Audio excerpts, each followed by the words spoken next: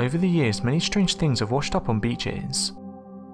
This strange creature described as having the face of a horse, the body of a pig, and the claws of a bear washed up on a South Wales beach. The mysterious creature was discovered in Tenby by dog walker Peter Bailey, who sent photos of the animal to the council. Bailey said the following to newspapers It was a disgusting looking thing. My first impression was that it had the face of a horse, the claws of a bear, and the body of a pig. It was obviously decomposing, and it had lost most of its hair.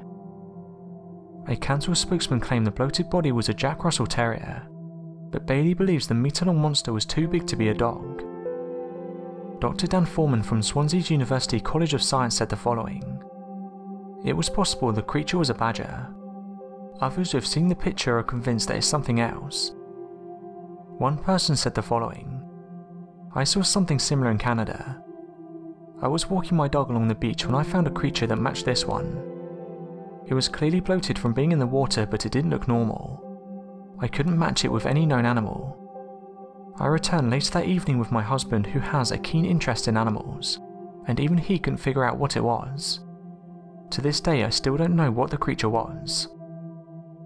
After seeing this creature, many compared it to the Montauk monster.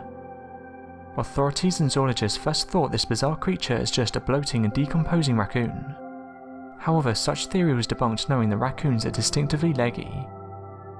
Since the monster's debut in 2008 in the beach of New York, it remained a favourite subject of controversy and speculation. Even today there isn't a definitive explanation how the creature got onto the shore of New York, and exactly what type of animal it is. So what do you guys think this creature is? Let me know your thoughts in the comments.